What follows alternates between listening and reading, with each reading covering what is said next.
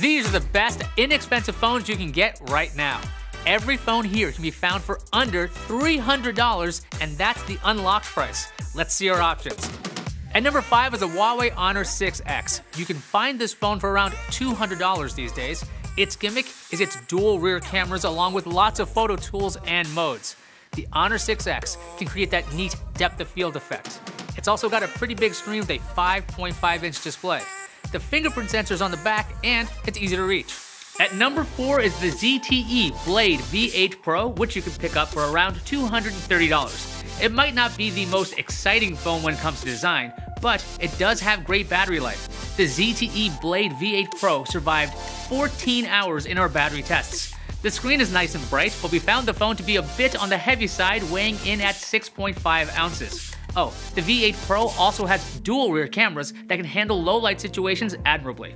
At number 3 is the Alcatel Idol 5S. There's so much to like about this phone. The fingerprint sensor on the rear handles shortcuts like getting you back to the home screen or pulling down the notification tray.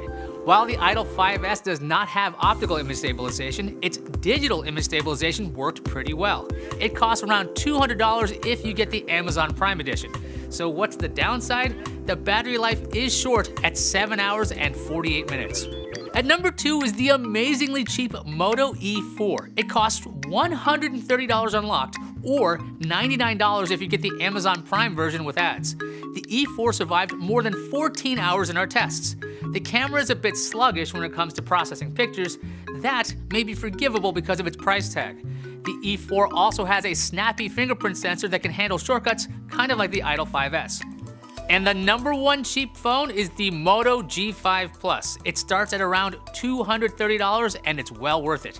You get a near stock version of Android on the G5 Plus. The fingerprint sensor works as well as Apple's Touch ID and it also lets you use gestures as shortcuts. The 12 megapixel camera is decent, although not great in darker environments the G5 Plus can also capture video in 4K. As CNET editor Patrick Holland said, there is no better budget phone than Motorola's Moto G5 Plus. For more top 5s, check out top5.cnet.com. I'm Iyaz Akhtar and I'll see you online.